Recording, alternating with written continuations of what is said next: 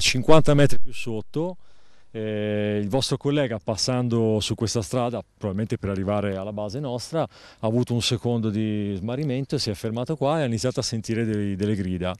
Eh, ha chiamato, ha fatto il nome del bambino e eh, ha sentito una risposta mamma. Quindi a quel punto ha provato a scendere un pochino, non è riuscito per le calzature che aveva ad arrivare fino al bimbo e ha pensato poi giustamente di chiamare aiuto.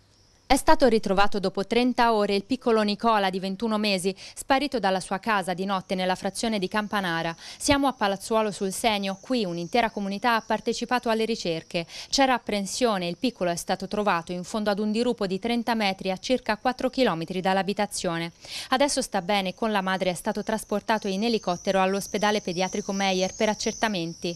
Qualche graffio sulle ginocchia, tanta paura e quella parola, mamma, sentita da una troupe televisiva che attraversa attraversava uno dei tracciati che oggi sarebbe stato battuto dai soccorritori, un momento emozionante per chi lo ha ritrovato.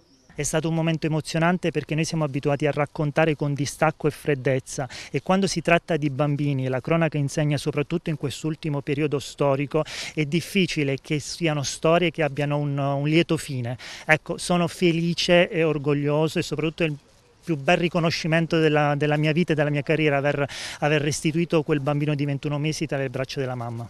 Le dinamiche dell'allontanamento per i carabinieri sono abbastanza chiare. Il bambino sarebbe uscito di notte in autonomia, vestito e con i sandaletti ai piedi, poi si sarebbe perso nel bosco. Un ambiente a lui familiare, a differenza di molti altri bambini che vivono in città. Il fatto di un bambino così che vive nella natura, vede poche persone, il fatto che ieri ci sia stata tanta gente, elicotteri, rumore, l'abbia fatto più allontanare che avvicinare a casa e questo l'ha portato magari ad andare sempre più avanti, allontanarsi. Questo è un mio pensiero comunque. Eh.